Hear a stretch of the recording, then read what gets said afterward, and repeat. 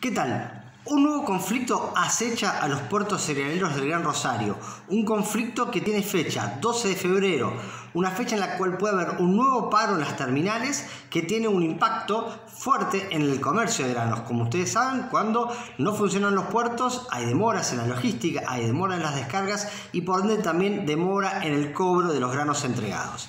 ¿Qué es lo que está ocurriendo? Primero recordemos que los puertos cerealeros del Gran Rosario, por donde sale casi toda la producción agropecuaria argentina, tuvieron un fin de año muy agitado por una seguidilla de huelgas de los sindicatos aceiteros, pero también de los sindicatos, del sindicato de recibidores de granos, que los mantuvo paralizados durante varias semanas. Es más, esos paros no solo dificultaron la comercialización de granos, sino también la exportación y la industrialización, y el daño que provocó esa huelga se empezó a ver en los números de diciembre, donde la producción industrial fue menor, la liquidación de exportaciones fue menor y el despacho de granos fue menor. Muy bien, luego se normalizó la situación, hubo acuerdos paritarios, que eran los que estaban trabando las relaciones en los muelles entre las empresas y los gremios y la actividad empezó a fluir normalmente. No en vano, por ejemplo, el paro que en estos días, o que ya desde hace unos días viene sacudiendo a los puertos de la zona de Bahía Blanca, de Quequén, puertos bonaerenses, acá en Santa Fe no se vivieron tan fuerte por dos razones.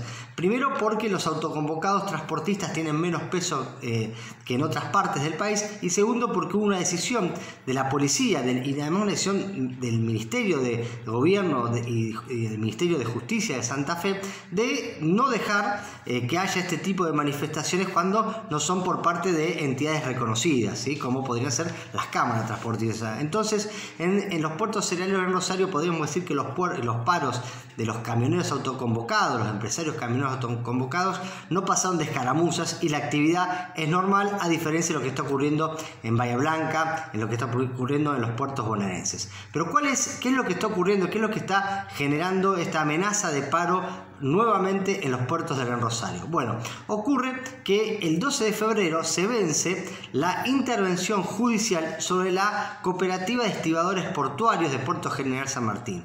Esa cooperativa tiene más del 60% del, negocio de estibaje en los puertos cerealeros del norte del Gran Rosario.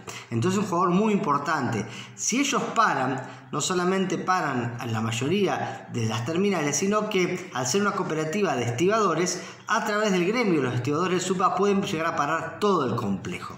Esa, como les comentaba, esa cooperativa está intervenida hace más de un año y medio. ¿Cuándo fue que quedó intervenida? Cuando, sobre el final del gobierno de Mauricio Macri, eh, el líder de esta cooperativa, el histórico líder, el cacique sindical Hermes Juárez, cayó detenido por una serie de denuncias que había en su contra, denuncias de tipo penal, penal económica. Con el tiempo, esas denuncias, algunas cayeron porque, por errores de forma, por su propio peso, otras siguen avanzando, pero el líder sindical en estos nuevos tiempos que corren políticos recuperó su libertad y está pujando por volver. Así todo está debilitado. No obstante, los estibadores socios de la cooperativa ya llevan hace un año y medio sin poder conducirla porque está bajo una intervención judicial.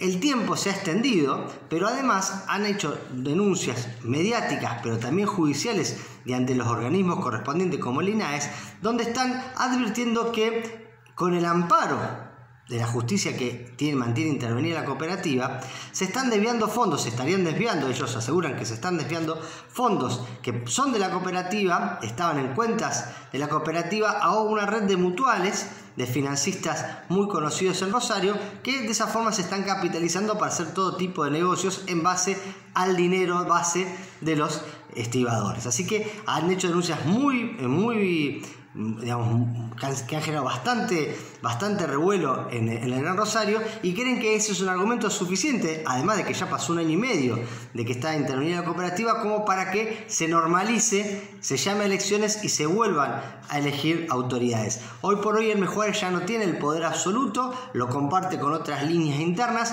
que deberían, deberán dirimar, en caso de que se normalice la cooperativa, deberían dirimir quién es el que la va a precedir o qué grupo la va a precedir. El como les decía recién, ya no tiene poder absoluto, pero sigue tallando, como también ahora empezaron a tallar otros grupos opositores a él. Pero lo cierto es que esas diferencias y con esto voy terminando, quedan totalmente a un lado cuando se trata de enfrentar los estibadores a la intervención judicial de la cooperativa.